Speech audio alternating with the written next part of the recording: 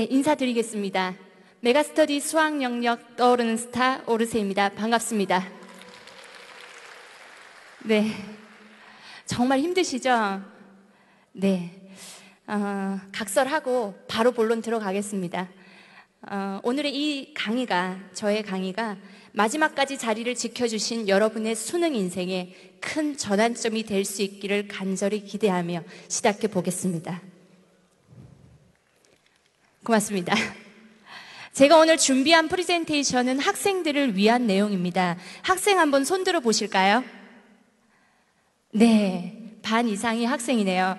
그러면 제가 말을 놓고 가볍게 반말로 진행해도 괜찮을까요? 예, 고맙습니다. 자, 제가 준비한 PPT가 18장입니다. 한 장당 1분씩 18분 안에 끝내도록 하겠습니다.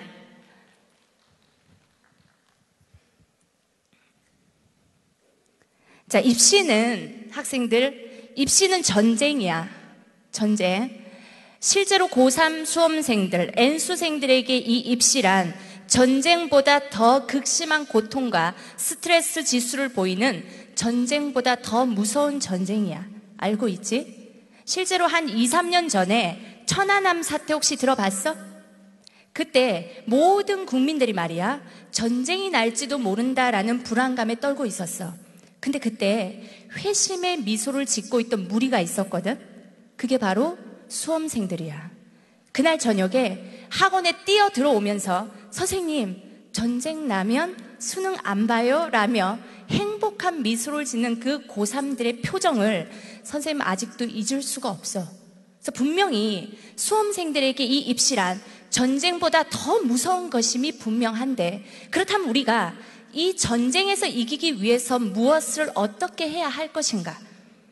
자, 아주 아주 옛날 처음으로 돌아가서 고전에 손자병법 알지? 거기에 이런 말이 있어. 전쟁에서 이기는 최고의 전법으로 지피 지기면 백전백승이다라고 해. 들어봤지? 그죠? 자, 지피지기. 적을 알고 나를 알고 백전백승한다는 뜻인데 우리 학생들이 잘못하고 있는 아주 중요한 것이 지피는 잘해.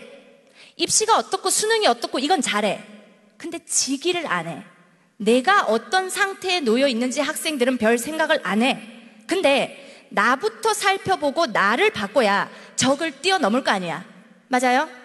그래서 오늘 지기 먼저 해본다. 우리는 지기하고 그 다음 지피하고 백전백승 전략 짜도록 합시다. 좋습니까? 네. 자, 밤낮으로 공부만 하는 우리 수험생들은 실제로 나쁜 통계 안에 들어가. 좋은 통계 거의 안 들어가. 한번 볼까? 자, 청소년 인터넷 중독률 한번 보겠습니다.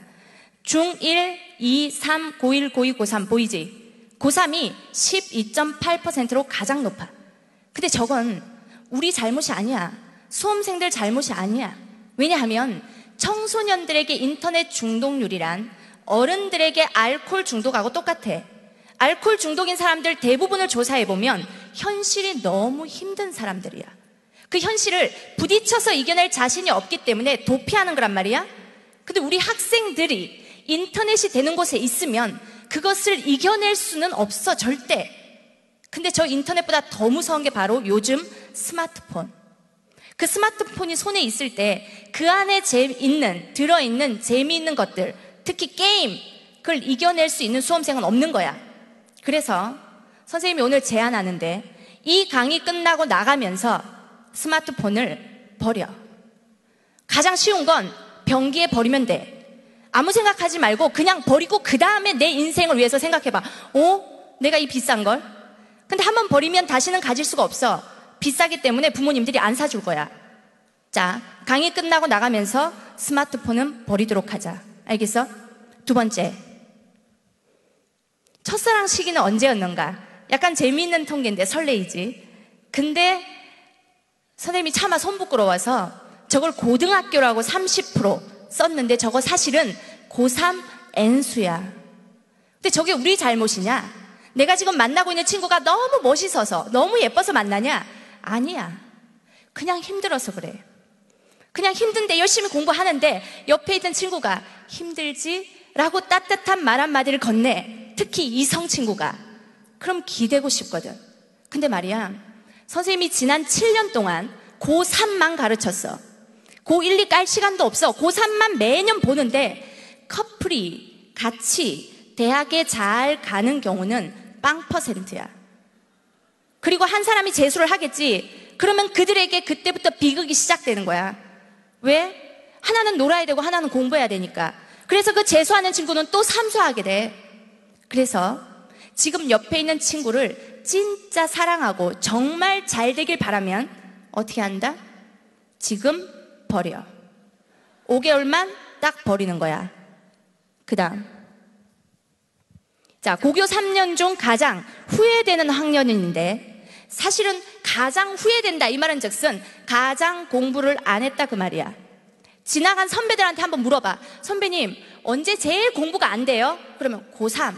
그럴걸. 그리고 그 선배들한테 한 번만 더 물어보세요. 그러면 고3 시절 중에 언제 제일 공부 안 했어요? 그러면 여름방학. 왜요? 몰라, 이상하게 공부가 안 돼. 그냥 시간이 흘러버렸어. 그렇게 얘기를 할 거라고. 근데 너무 당연한 게 공부는 정신이 하는 거잖아? 힘들면 공부를 할 수가 없어. 근데 6월 평가원이 끝나고 나면 학생들은 두 분류 중에 한 분류에 빠지게 돼 있어. 하나는 시험을 잘 봐. 우쭐해. 공부 안 해. 아무래도 느슨해지겠지? 못 본 학생은 힘들어. 벌써 하반기에 접어들었는데 절망이야. 그래서 공부를 못해 힘들면. 근데, 근데, 한번 생각해 봐야 돼, 우리가. 오늘 이 자리에 우리가 모인 건 수능을 위해서란 말이야. 6월 모의평가의 결과가 내 인생에 미치는 영향이 몇 프로지? 빵 퍼센트지. 이게 아무래도 잘 안 하다. 아무리 말해도 학생들은 계속 어깨가 처져서 다녀. 잘본 놈들은 계속 목에 힘주고 다녀. 그래서 오늘 선생님이 아주 가볍게 재밌는 놀이를 하나만 해볼게. 괜찮겠어요? 여러분들 마음이 선생님 말을 따라오면 돼. 자, 봐. 눈을 감아볼까? 자, 눈을 감아본다. 오늘은 2013년 11월 8일 수능 다음 날이다. 울고 있습니까? 웃고 있습니까? 웃고 있죠? 울고 있습니까? 근데요, 이 중에 5개월 전에 본 6월 모의평가 못 본 게 너무 속상해서 울고 있는 사람이 있어? 그때 6월 모의평가 잘 본 게 너무 아직도 기분 좋아서 웃고 있는 사람 있어? 없어. 우리 인생에 미치는 영향이 빵 퍼센트인 그 시험 결과 때문에 여름이 망가진다고. 절대 흔들리면 안 돼. 그래서 여러분들이 시간을 어떻게 활용하고 있는지 선생님이 밑에다가 고3 주중 평균 시간 활용을 써놨지. 저 뒤에 계신 분 보이십니까? 자, 맨 왼쪽에 있는 5.4시간이 수면 시간이야. 저건 고3 수험생들에게, N수생들에게 조사해서 나온 통계 자료인데, 수면 시간이 5.4시간. 어, 저 정도는 자야 돼. 그지? 근데 공부하는 시간이 11.05시간. 음, 꽤 하는 것 같아. 그리고 이동 시간이 2.1시간. 학원에 가고 학교 가고 움직여야지. 그리고 5.45시간. 저 밑에 물음표 보여? 저 시간이 없대.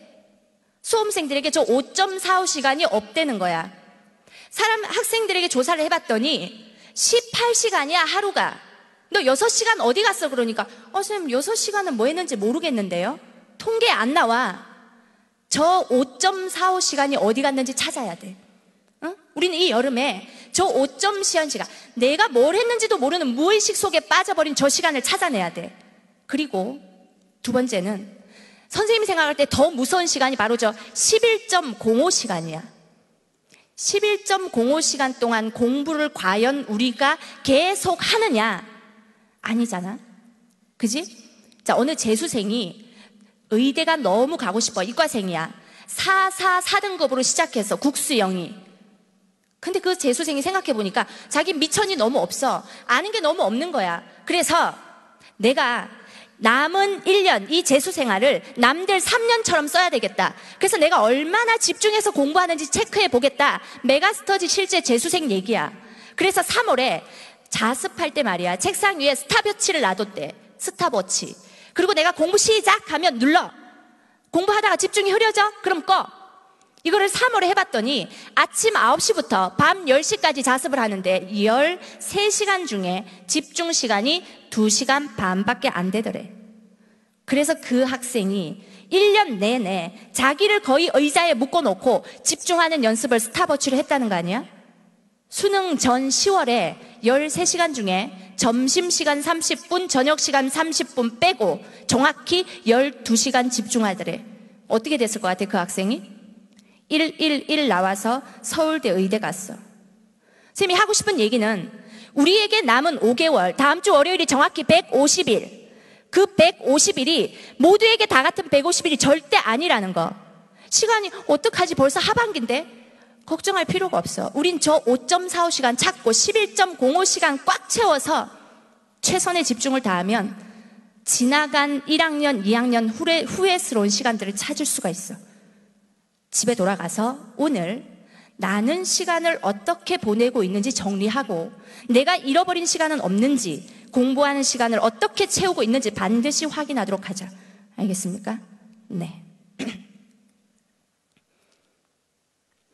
그래서요, 재학생과 재수생 중에 일단 재학생이 3월 모의고사를 보고 수능까지 성적이 떨어지는 비율을 한번 봤더니 통계에서 1등급, 2등급 학생이 1, 2등급을 벗어나는 비율이 22%야, 야. 22%. 떨어진다는 얘기야. 그럼 너 성적 왜 떨어졌어? 그럼 이래. 아, 선생님, N수생이 유입됐잖아요. 그럼 재수생한테 물어본다, N수생한테. 너는 왜 떨어졌어? 그러면 요즘은 고3들이 강세예요. 어제 일레가 선생님 수업 듣는 한 고3생과 재수생 같이 수업을 하는데 수업이 끝나고 6월 평가원 해설을 했거든? 끝나고 나서 재수생이, 아, 선생님, 저 이번에 3, 1, 3 나왔어요. 야, 너 죽을래? 3, 1, 3? 내가 한 1을, 내가 올려준 수학 1을 쓰레기통에 갖다 처박냐? 3, 1, 3 하면서 상담을 하는데, 옆에 고3이 딱 지나가. 어, 지연아, 실명이 나왔네? 수학 몇 개 틀렸니? 그랬더니 뭐라고 대답하는지 알아? 국어 한 개 틀렸어요. 하면서 가. 그 앞에 있던 재수생이, 좀 뭐라는 거야. 수학 몇 개 틀렸는지 묻는데 왜 국어를 대답해? 야, 국어만 한 개 틀렸단 얘기야. 라고 한 거야. 그렇게 요즘은 고3들도 쎄. 그래서 고3 재수생이 서로 남 핑계를 대. 근데 절대 아니야. 고3은 재수생 때문이 아니라 재수생은 고3 때문이 아니라 본인들이 공부를 안 해서 그래 그냥. 앞쪽 나쁜 통계에서 자유로울 수 있는 사람 있으면 한번 손 들어 봐. 없지? 니네가 공부를 안 해서 떨어지는 거라고. 그래서 아주 무서운 통계가 바로 결론인데 지피지기 중에 지기의 결론이야. 무서운 통계. 잘 봐. 수험생의 성적 변화가 재수생, 재학생 통틀어서 1등급이 아니었던 사람이 1등급으로 진입하는 또는 2등급이 아니었던 사람이 2등급으로 진입하는 확률이 딱 1%. 재수한다고 해서 성적 다 오르는 거 아니라는 거 알잖아? 응? 제대로 해야지. 그 성적이 오르는 사람 확률이 1%래. 그래서 오늘 우리는 저 1%의 희망을 걸고 여기 모인 거 아니야? 저 1% 안에 들어가야 될 거 아니야? 근데 학생들 대충해선 절대 못 들어가는 퍼센트지야 저게. 100분의 1? 아, 나 되겠지. 나, 나. 나야, 나, 저기. 이렇게 생각하지만 아니야. 아주 재밌는 예를 하나 들어줄까? 지겨운데. 사람도 많이 나가고 별로 없는데. 어, 로또가 될 확률이 얼마인지 아십니까? 로또 될 확률, 어머님들 로또 많이 사시죠? 로또 될 확률 얼마일까요? 800만 분의 1. 근데 벼락을 맞아 죽을 확률을 제가 한번 계산해 봤거든요. 정확합니다. 수학 선생님이니까. 지구 면적에서 내가 서 있는 면적 곱하기 자연 재해에서 벼락이 칠 확률 150만 분의 1. 그 수학적 확률은 틀렸잖아 할까봐 우리 학생들 경험적 확률 알지? 통계적으로도 구해봤어. 전체 인구 중에 벼락 맞아 죽은 사람 확률 150만 분의 1 똑같아. 결론은 로또 맞을 확률보다 벼락 맞아 죽을 확률이 6배나 높아. 하지만 우리는 내가 로또가 될 수 있을 거야 생각은 하지만 벼락 맞아 죽을지도 몰라 이런 생각 한 적 있어 없어? 없는 거야. 저 99%는 안 보이고 내가 대충 하면 1%에 들어가겠지. 선생님 수능, 수능은 대박 날 거예요. 라고 생각하지만 착각. 그럼 저 1%에 들어가기 위해서 어떻게 해야 되느냐? 아주 짧게 지피를 해보자. 도대체 우리 수능 수학을 뚫기 위해서 원점, 최상위는 원점수 100점. 중상위권은 1등급 목표하기 위해서 뭘 해야 되는지 수능 수학이 어떤 건지 한번 GP를 해보자고 지금부터. 잘 들으세요. 자, 수능 수학 키워드는 딱 세 개. 보이시죠? 본질적 개념, 개념적 접근, 수학적 언어의 이해.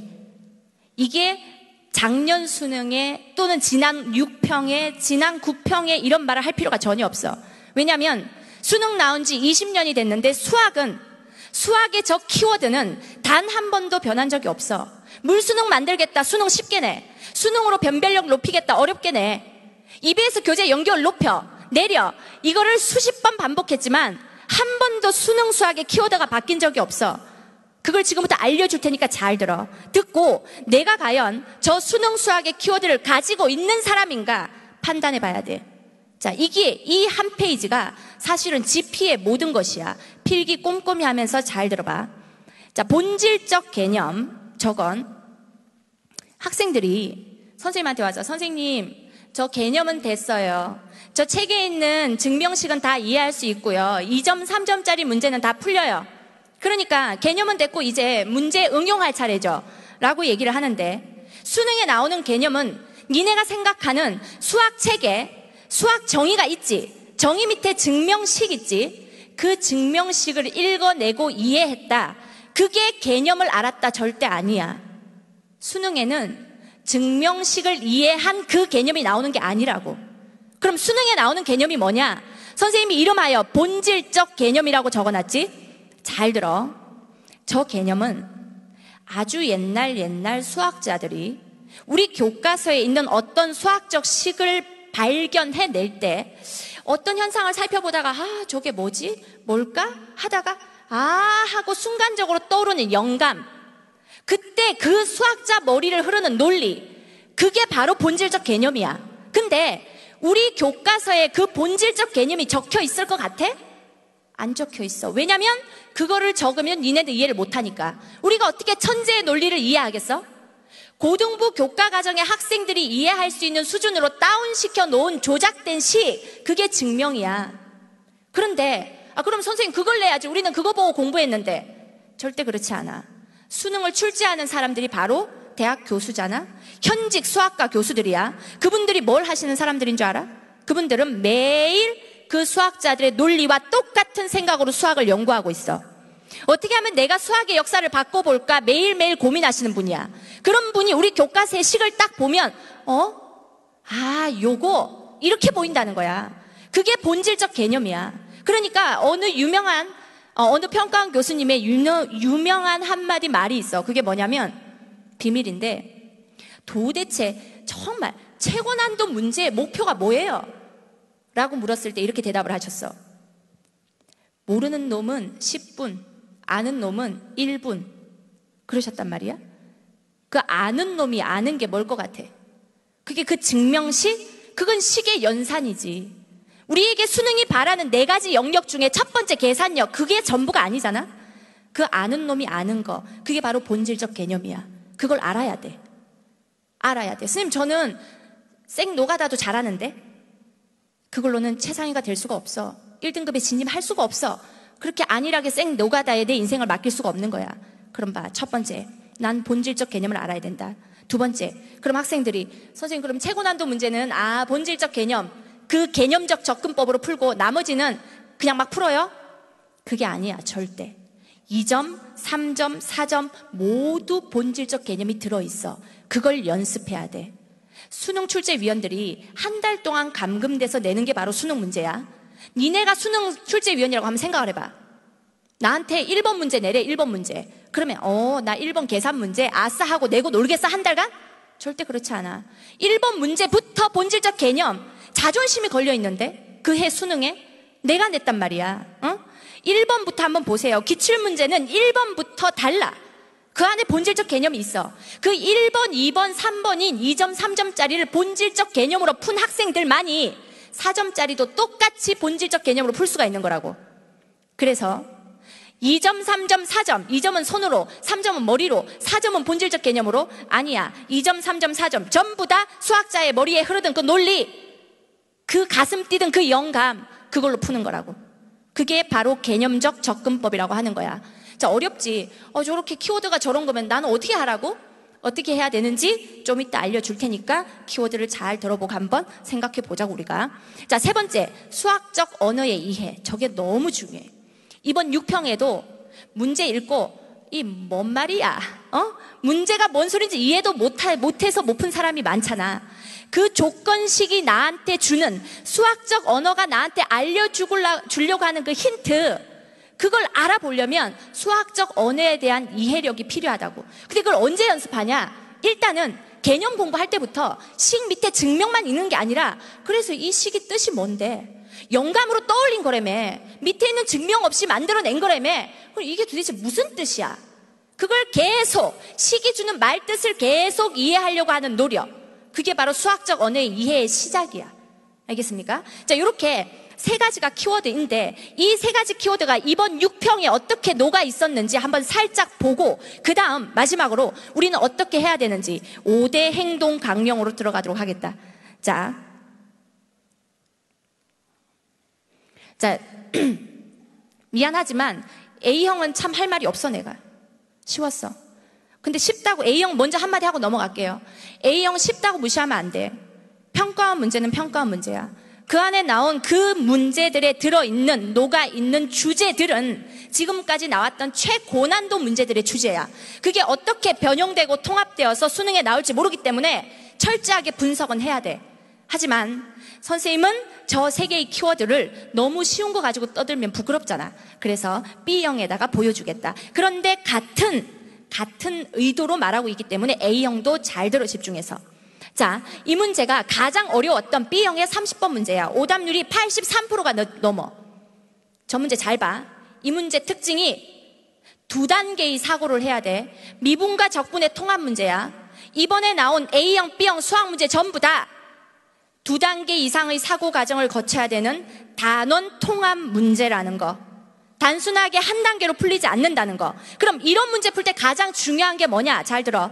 가장 중요한 건 단계 단계를 가장 컴팩트하게 줄여서 깨끗하게 푸는 거야. 그래야 풀다가 지치는 일이 없는 거지. 풀다가 실수, 계산 실수가 안 나오는 거야. 단계 단계 컴팩트하게 줄이는 방법이 바로 개념적 접근법으로 푸는 거라고. 보세요. 비교를 해놨는데 왼쪽 해설, 오른쪽 해설 자세히 안 보이겠지? 지금 수학 공부하기 싫잖아. 니네 괴롭히려고 여기 선 거 아니니까 간단히 결론만 얘기하면 오른쪽에 저 1단계에 있는 저 짧은 방법, 저게 바로 본질적 접근법으로 해결을 한 거야. 저건 저걸 안 썼어. 거의 대부분 학생들이. 그래서 왼쪽처럼 저 빨간 박스 보이지? 저렇게 길게 풀리는 거야. 근데 본질적 개념을 알면 저 오른쪽으로 풀어. 저게 쌤 무슨 본질적 개념이에요? 저거 적분이 시작될 때 아르키메데스라는 적분의 아버지가 포물선과 직선이 이루는 넓이를 쳐다보다가 아 요거 이렇게 풀어야겠다. 그때 나온 방법, 그 논리 구조 그대로 물어본 게 저거야. 저걸 저렇게 풀면 이과생들 얼마나 시간이 줄어들겠어. 저런 게 바로 본질적 개념. 그리고 이과생들이 힘들어했던 문제 중에 27번 마찬가지 왼쪽 풀이랑 한번 비교해봐. 1단계, 2단계 역시 통합 문제인데 저긴 2단계의 본질적 개념이 들어가 있어. 저 2단계 본질적 개념이 적분의 역사를 바꿔놓은 거야. 저건 수능에도 4점짜리로 또 나와. 안 나올 수가 없어. 저가 안 나오면 수능 아니야. 저런 나오기로 결정된 본질적 개념 나오면 적분 문제지만 아 정적분이 부정적분이야. 어 이건 미분 문제야. 미분 확 해서 푸는 거야. 근데 여기서 문과이과 같이 들으세요. 여기서 그 앞단에 그래프 이동 특성이라고 보이지? 이번 6월 모평의 공통 특징이 그래프를 무지하게 가지고 논다. 지금 여름방학 때 수학이 약한 사람들 반드시 다시 해야 되는 게 바로 그래프인데 그래프에 대해서 뭘 해야 되느냐? 첫 번째, 평의 이동. 저거. 평의 이동. 두 번째, 선대칭 이동. 세 번째, 점대칭 이동. 네 번째, 확대 또는 축소 이동. 다섯 번째, 그래프 자체의 대칭성. 이렇게 다섯 가지를 여름방학 때 반드시 해야 돼. 그걸 해야지만 본질적 개념을 들어가기 위한 그 전 단계, 거기서 그래프 해석을 쉽게 해서 본질로 들어갈 수 있다고.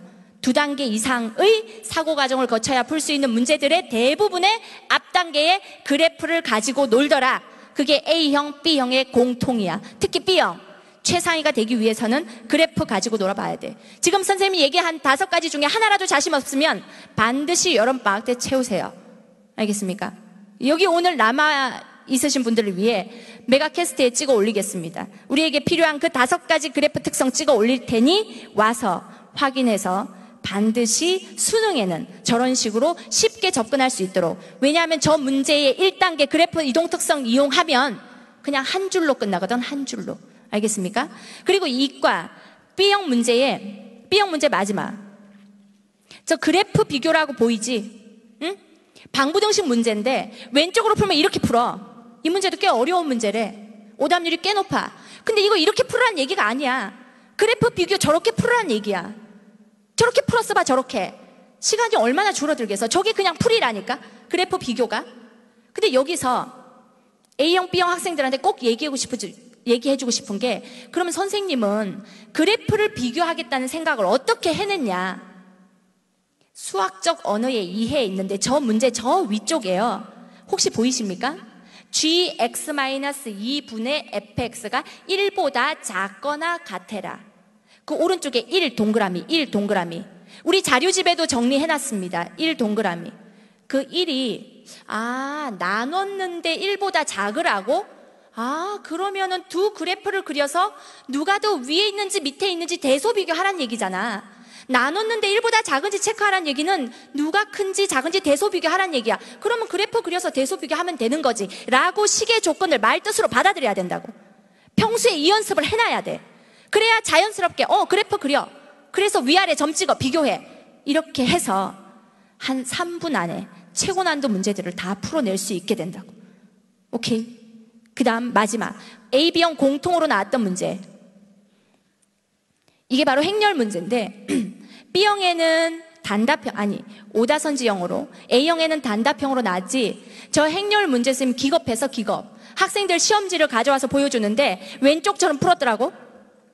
너 왜 이렇게 풀어서 그랬더니, 선생님 이게 연역, 아니, 그 거듭 제곱권 추론 문제잖아요. 해봐야지. 2제곱, 3제곱, 4제곱, 5제곱. 근데 선생님이 수능에서 최고 주기는 6주기라 했기 때문에 제가요, 포기 안 하고 6번이나 거듭 제곱해서 답을 구했어요. 당당하게 말하는데, 이 문제는 껍데기만 추론 문제지 진입 판정 문제 주제하고 똑같은 주제야.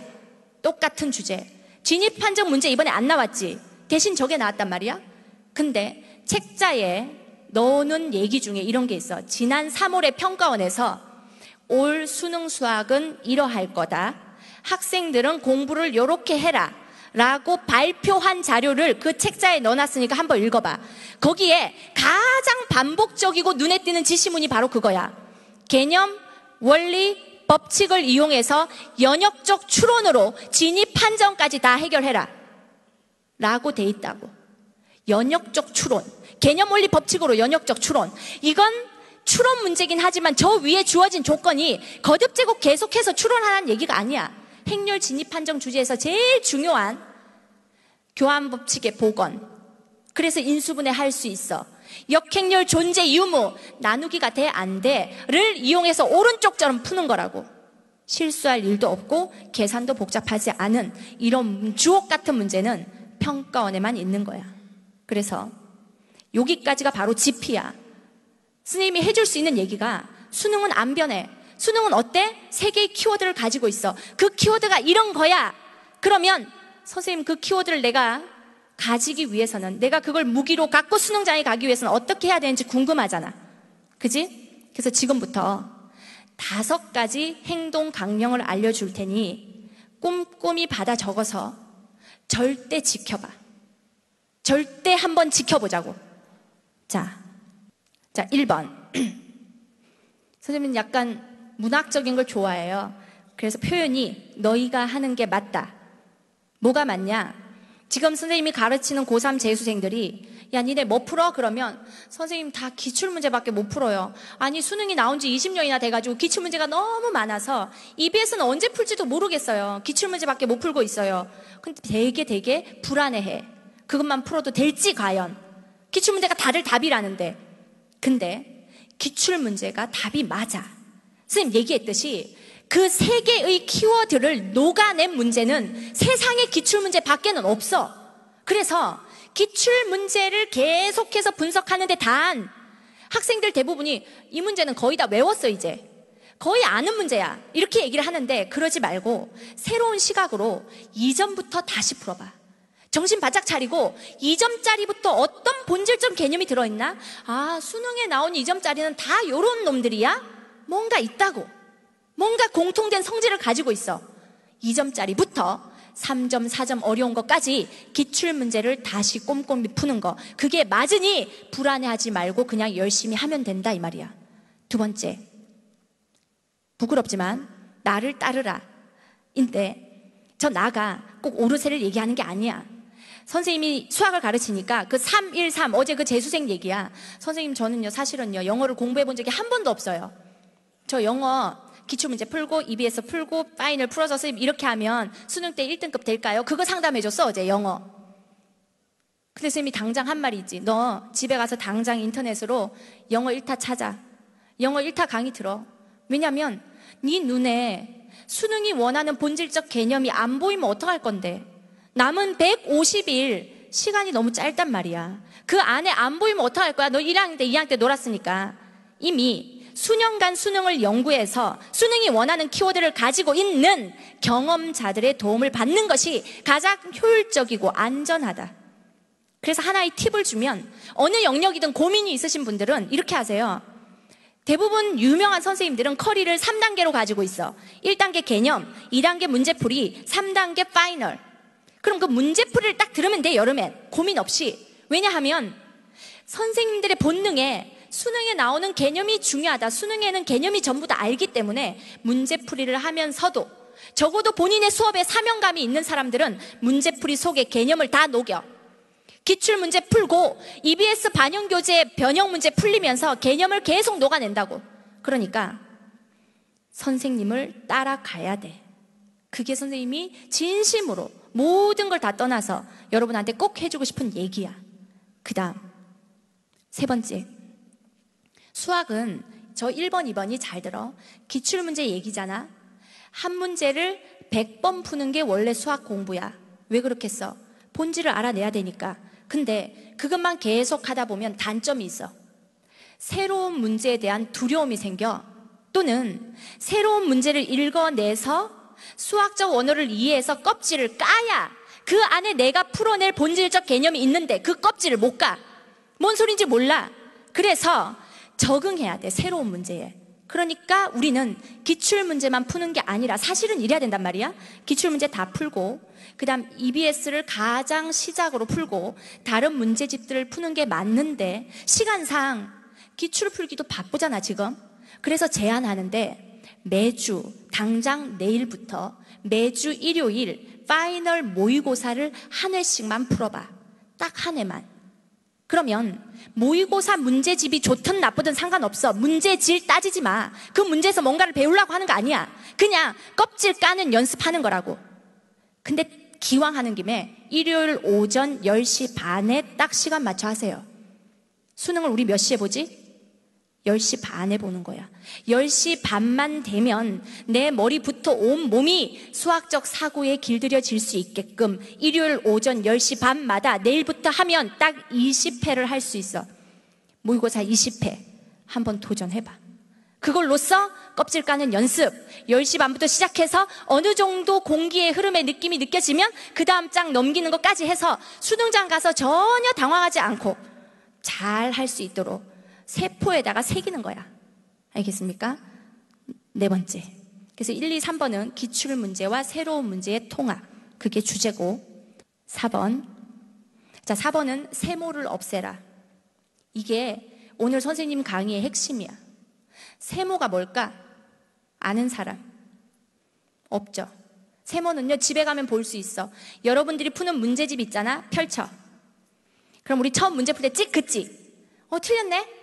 그래, 해설지 안 보고 선생님한테 안 물어보고 자존심에 다시 풀어봐. 어, 맞네? 그때 뭐 해? 세모 이러잖아. 그러면 되게 뿌듯해 하지.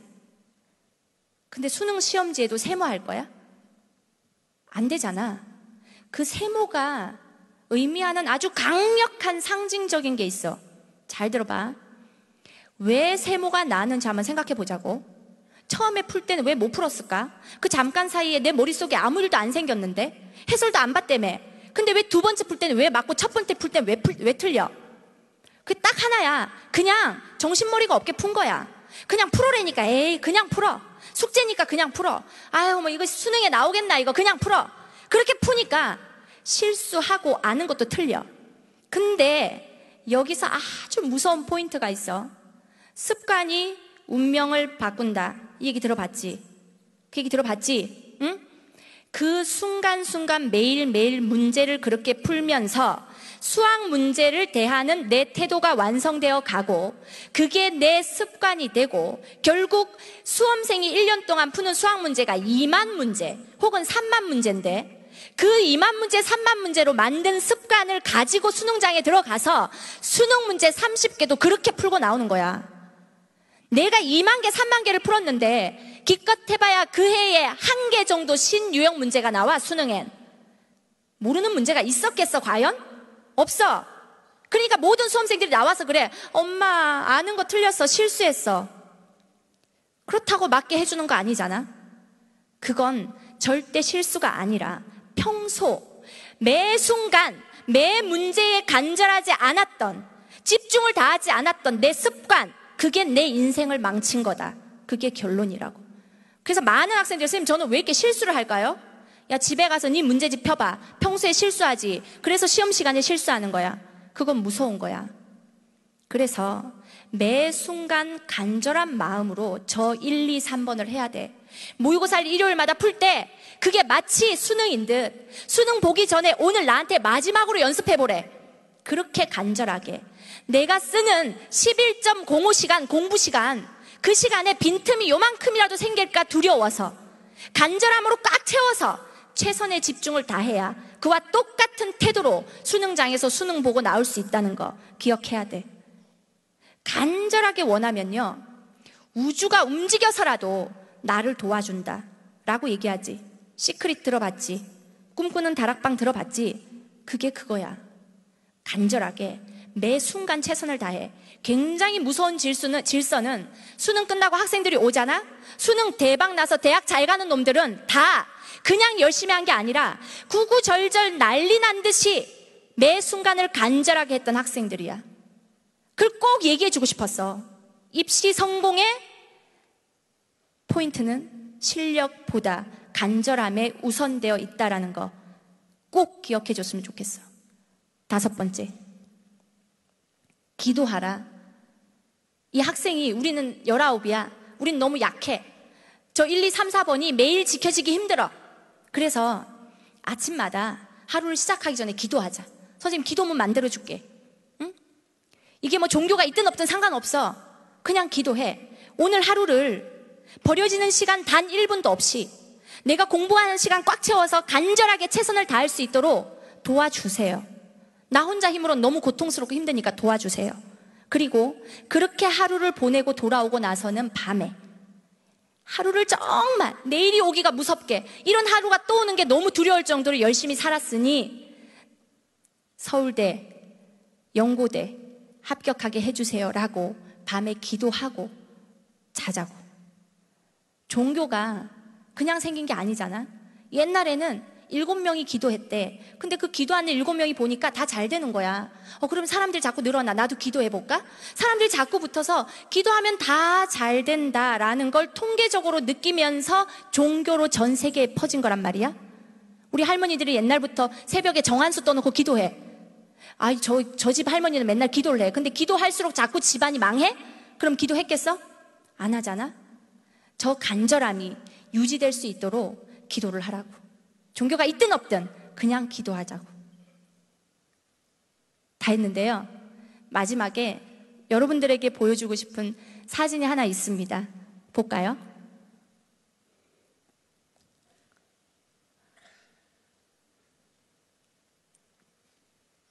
무슨 사진인지 아시죠? 저 사진이요.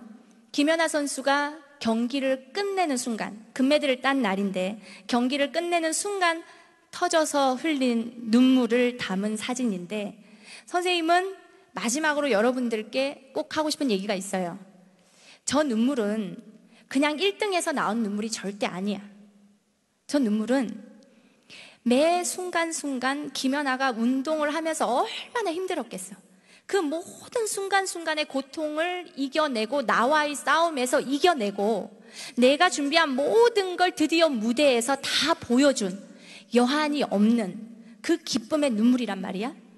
근데 우리 어른들도 부모님들도 계시지만 인생의 저런 눈물을 한 번도 흘려보기 힘들어 보통은. 근데 지금 우리 수험생들이 입시를 앞두고 있잖아.